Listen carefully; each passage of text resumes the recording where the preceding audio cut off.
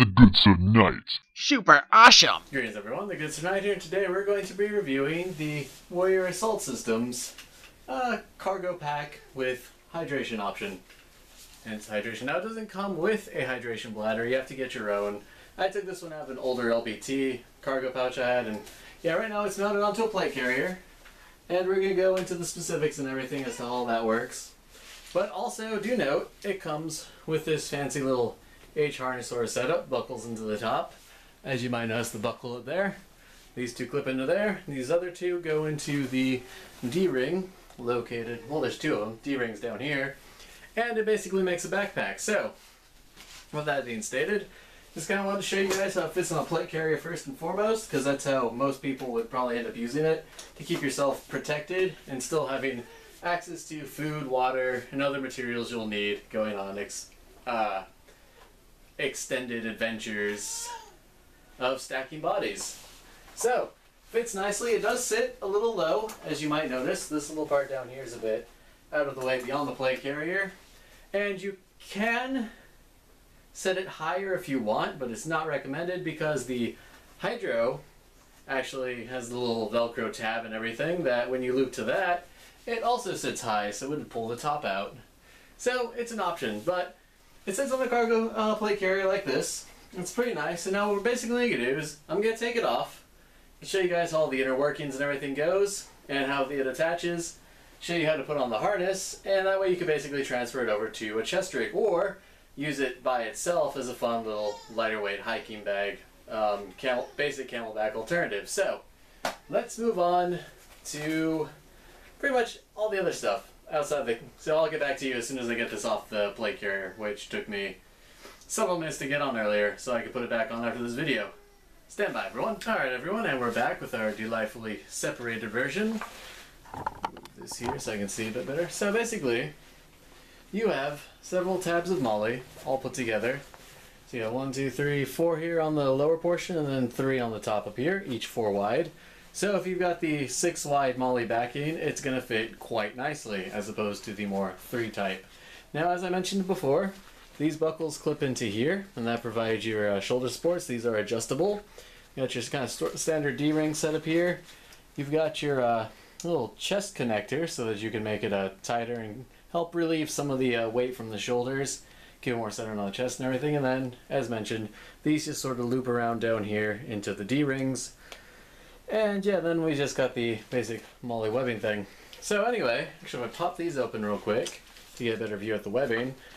As you can see, these are just, it's, if you were looking at this on Amazon, they've actually updated it quite a bit.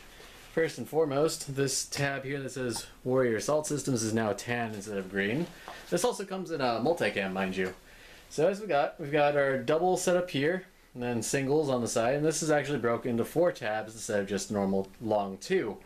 So Warrior Assault Systems again, patched up on here. And this is the part where you'd weave it in through, again, four wide. First one's uh, two, and then the er, three, basically another four down lower so this basically enables you to mount it onto your plate carrier or an extra backpack or something. And then through the simple use of these buckles here, clip that in, clip that in, and boom. So that's basically how your two mounting options are going to work here.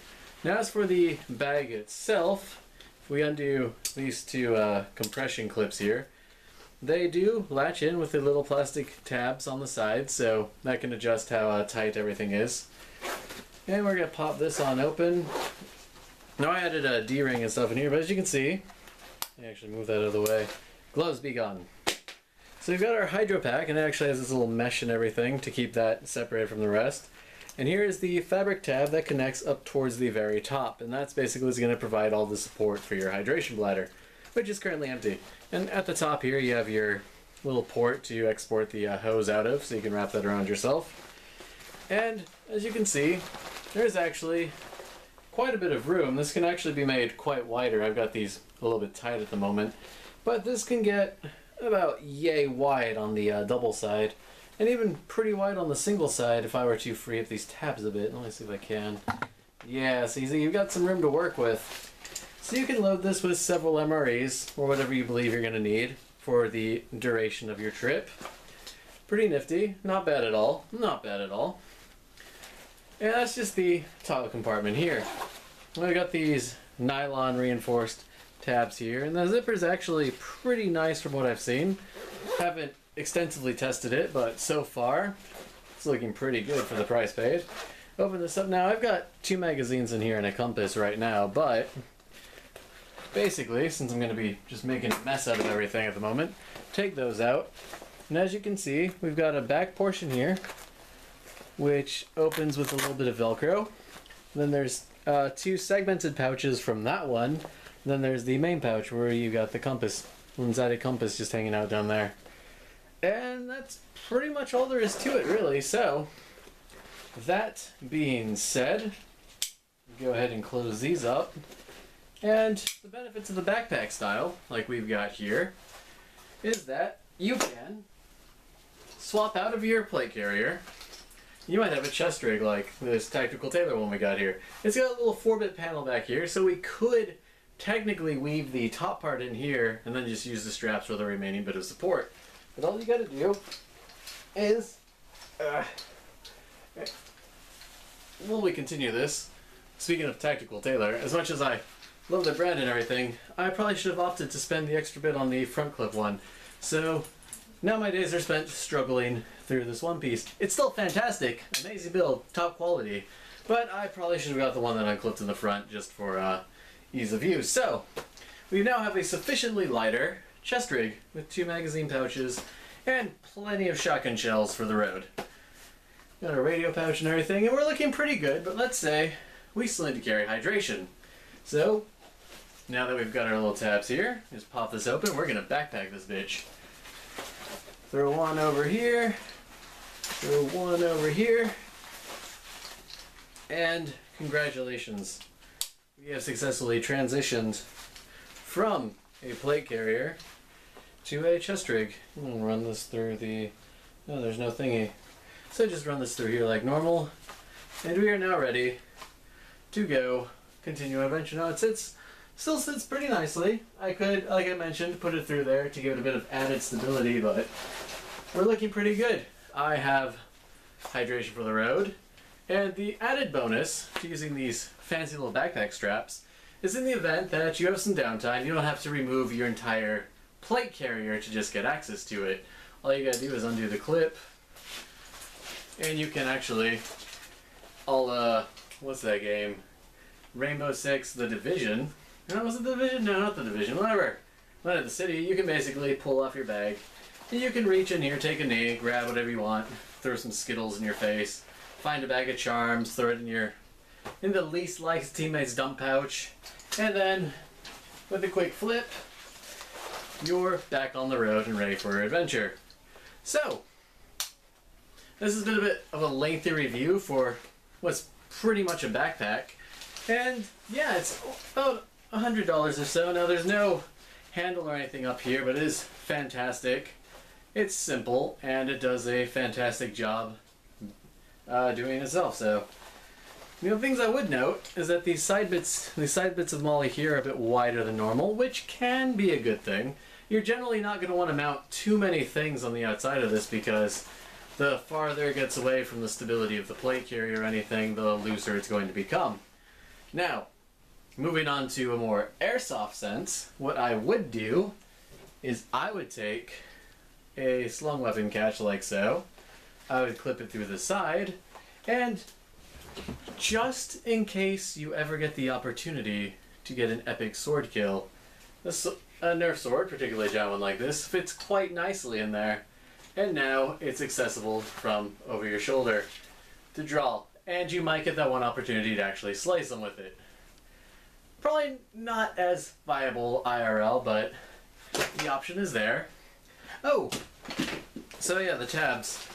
Basically, they're going to do exactly what you think. So instead of the buckles, I totally forgot about this, which is how you know this is I'll do it live recording. Is basically the tabs look like this. They don't use the buckles anymore. More use more of a Blue Force gear slash uh oh what is it um BDS tactical sort of setup. To where this basically weaves around, and when you're done, you fold it under here, and it gives a good amount of tension support and everything. Now, technically, if I was going to use this as a backpack, I might take the additional time to basically weave all this under here real quick and then just pop it through the bottom here just to kind of give it that added bit of a not going to pop out and flail around sort of a property. So that's pretty much all there is to it. So you can carry all your little additional admin sort of stuff in here. You can carry added IFAK materials in the bottom pouch, all your food and water and stuff in the top. And you can basically extend your operations for a long period of time without using, say, a sufficiently larger backpack. You could also just fill it with, I don't know, say, 762 100 round, 100 round uh, belts for the uh, uh, 240 Bravo or whatever you got going with you. So, options. Pretty fantastic backpack. Far more, uh, far more versatile than your average CamelBak, and sufficiently smaller than any of your small or larger day packs. Even sufficiently smaller than our 511, was it 24 hour bag we got here? Sufficiently smaller, so you're not gonna fill it with ponchos or extra clothing or anything, although you could get a few in there. It's basically gonna be a we're gonna get a bunch of shit done in a very small short amount of time and then get back to base. So fantastic, absolutely in love with it so far, and looking forward to seeing how it holds up out on the airsoft fields of Okinawa and up in mainline. So all I got for you guys.